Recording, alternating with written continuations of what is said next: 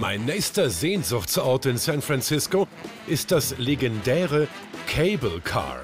Ein weltweit einzigartiges nostalgisches Verkehrsmittel, das jedes Jahr Millionen Touristen befördert. Eine Fahrt damit ist ein Muss.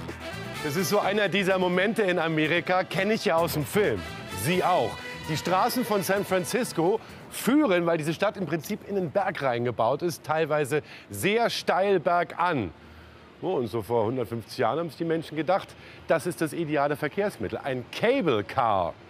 Was heißt das, Cable Car? Ein Kabelauto? Richtig. Nämlich hier in der, sozusagen im Straßenbelag drin Hören Sie es ein bisschen, so ein bisschen knacken. Dicke, dicke, dicke, dicke, dicke, dicke, dicke. Das ist ein Strahlseil, ein Stahlseilsystem, was sich hier komplett den Berg hochzieht. Und das wiederum bewegt und zieht diese Cable Cars nach oben. Eine tolle Sache, eine historische Sache. Leider kann man sich nicht einfach so hier reinsetzen, sondern man muss zum Start- und Ausgangspunkt dieser Fahrten. Und der befindet sich dort hinten. Und da geht das Problem los. Wirft man einen Blick auf den Cable Car Streckenplan, stellt man fest, in ganz San Francisco gibt es drei Linien.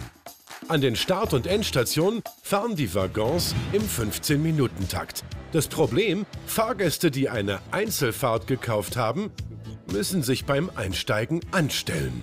In einer furchtbar langen Warteschlange. Ach Gott, das ist alles eine ganze Schlange. Ah, excuse me, just check. Wie lange warten Sie denn schon? Ungefähr eine Stunde. Eine Stunde. Jetzt geht's gleich los. Alle Einzelticketkäufer müssen an der Starthaltestelle anstehen und warten. Einfach unterwegs aufspringen geht damit nicht. Tja, wie das so ist mit den tollen Touristenattraktionen. Wer darauf will, muss lange warten. Anderthalb Stunden, die Zeit habe ich jetzt ehrlich gesagt nicht. Und die Kinder, wenn ich welche dabei hätte, die würden da auch nicht mitmachen. Was bleibt Ihnen denn dann als äh, San Francisco-Besucher? Ja, vielleicht äh, das Unternehmen, was wir gefunden haben, ein paar Blocks von hier. Und die verdienen sich an der Sehnsucht nach dieser historischen Bahn eine goldene Abzocknase. Mit Direkt an der Fisherman's Wharf haben wir einen Laden entdeckt, der Touren anbietet mit dem echten San Francisco Cable Car. Klingt doch super. Ach, ach wie schade. Ja, genau das will ich haben. Genau das. Genau das. Und das verkaufen die hier als Classic Cable Car Tour. Come Ride San Francisco's only authentic Cable Car Tour. Das heißt, die einzige Tour mit echten, authentischen Cable Cars wird hier verkauft. Oder wurde. Was ist denn los? Bei der Nummer rufe ich gerade mal an. Danke für Ihren Anruf. Ich bin Melissa. Wie kann ich Ihnen helfen? Hallo, hier ist Peter. Ich versuche Fahrkarten für die klassische Cable Car Tour zu kriegen. Okay, gerne. Ich habe noch was für 8 Uhr morgen früh. Die geht an der Haltestelle an den Piers los. Das ist nicht weit weg von dem Ort, an dem Sie gerade stehen. Und dann habe ich noch eine Tour, die am Union Square beginnt. Wir sind zu zweit. Gerne.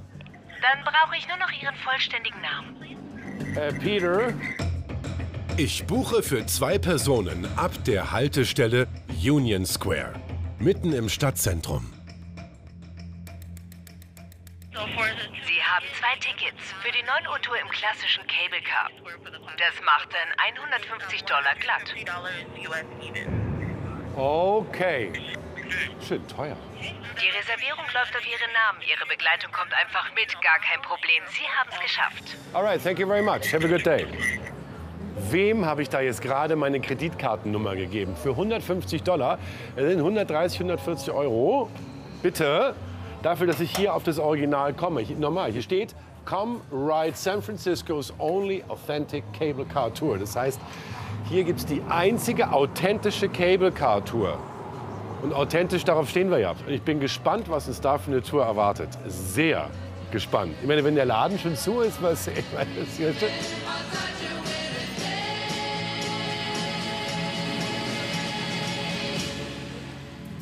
Am nächsten Morgen freue ich mich auf die Cable Car Tour. Los geht's für mich an der Haltestelle Union Square. Hier kommt jetzt gerade alles, viel Straßenverkehr, lauter Ubers, Taxis und so weiter. Ach, aber nicht unsere Bahn. Wollen Sie mit dem Big Bus fahren? Nee, ich suche die richtige Haltestelle für das Cable Car. Da drüben. Oh, keine Ahnung. Wissen Sie, wo die Classic Cable Car Tour startet? Äh, check mal die andere Ecke. Vielleicht da, ich weiß nicht genau. So schwer kann das doch nicht sein. Oder? Da ist ja nicht die Haltestelle. Wir sollten da hinten hinkommen. Da steht sie. Schau mal da. Moment. Moment, da fehlt was. So. Das, das, kann, das ist nicht unserer. Bitte nicht. Ja, here it is. Doch. Ist er. Leider nicht unsere Bahn, sondern unser Bus. Vielleicht ist es ja was ganz Neumodisches. Äh, kennt man ja so. Äh, so Amphibienfahrzeuge quasi für die Schiene. Die können auf der Straße, auf Reifen und auf der Schiene fahren. Ich glaube aber nicht. Ich habe das Gefühl, wir sitzen hier in einer Imitation eines Cable Cars und nicht in dem historischen Original. Das ist jetzt nicht wirklich so, oder? Guten Morgen, bist du Peter? Ja. Hey Kurt, wie Kurt? geht's? Hallo. Gut, ich erzähle euch was über San Francisco. Oh, Also toll, mein Lieber. Ja, all right. wunderbar. Wonderful. Thanks a lot. Ihr seid pünktlich und wir sind gleich startklar. Das ist ja ein netter Kerl. Das ist ja alles schön. Aber das ist hier, glaube ich, kein Cable Car. Ja, tschüss.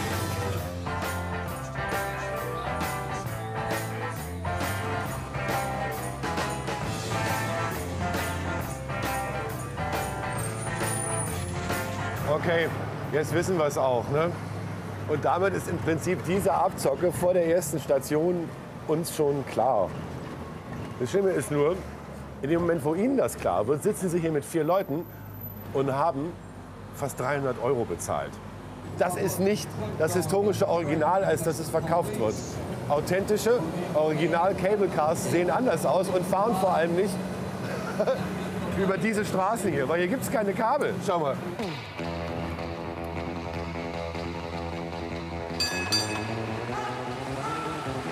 So geht's im Bus, der aussieht wie ein Cable Car, aber keins ist, durch San Francisco. Eine ganz klassische Stadtrundfahrt also. Rathaus und die berühmten Painted Ladies Häuser sehe ich. Schön, aber ich fahre Bus statt Cable Car und breche ab. Bye bye now, bye bye now. Ja, der Mann war nett.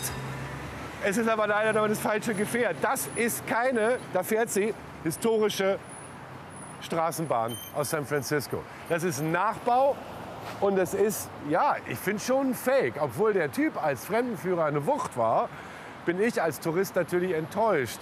Weil ich sitze in der Fälschung. Da kommt gleich noch eine. Schau mal, das ist eine richtige Industrie hier mit denen. Das ist die nächste. Auch auf Rädern. Und dann fühle ich mich schon irgendwie abgezockt. Zumal bei dem extrem hohen Preis. 65 Euro, 70 Dollar pro Person. Darüber wird zu sprechen sein. Das ist echt verschlossen. Hier ist keiner. Wir waren es jetzt halb zwölf, normale Geschäftszeiten. Ich frage mal nebenan, ob da jemand Bescheid weiß, wo die sind. Excuse me, sir. Entschuldigen Sie, Sir, ich habe eine Frage. Ich suche das Büro hier, das von Ihrem Nachbarn. Die mit dem Cable Car? Ich weiß nicht. Ah, die sind noch unterwegs. Ja, klar, die sind noch da. Tickets gibt's aber online, ich weiß nicht. Oh, Ah, there's aber im Büro ist jetzt niemand. Nein, das Büro ist zu schon lange Zeit. Oh, schon lange. Ja, Okay. So, nee, also der Nachbar meint auch, hier gibt es schon lange keine Geschäftstätigkeit mehr. Und ich muss ganz ehrlich sagen, jetzt verstehe ich vieles. Es erklärt sich mir, weil sowas, sowas möchte man natürlich nicht an die große Glocke hängen und irgendwie irgendwo verkaufen. Das ist genau richtig. Jemand kommt her als Tourist, sieht, oh, authentisches Cable Car und ruft diese Nummer an. Und auch ich wähle diese Nummer nochmal, aber nur um reinen Tisch zu machen.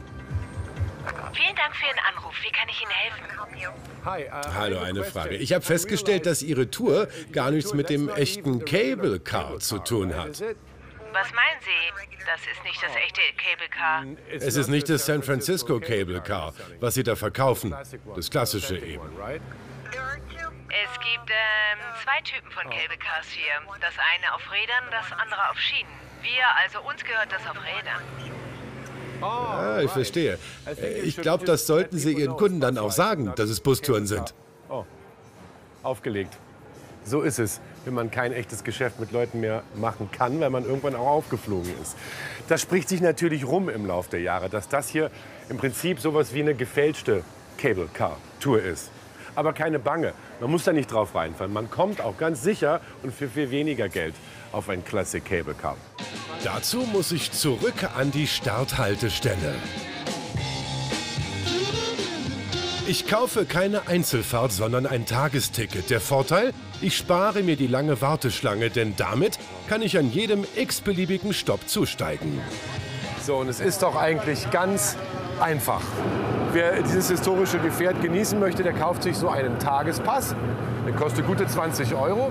Und mit dem kann man, so oft man möchte, ohne großes Anstehen, diese Bahn fahren. Und im Übrigen auch alle anderen Busse und Bahnen, Straßenbahnen zum Beispiel, die es in San Francisco gibt.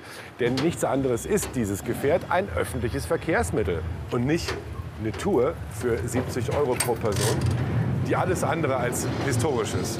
Nice ride, buddy. Mein Trip nach San Francisco geht zu Ende. Ich halte fest, hier ist es sicher und die Abzocken sind überschaubar. Planen Sie diese Perle der Westküste unbedingt ein bei Ihrem nächsten USA-Urlaub.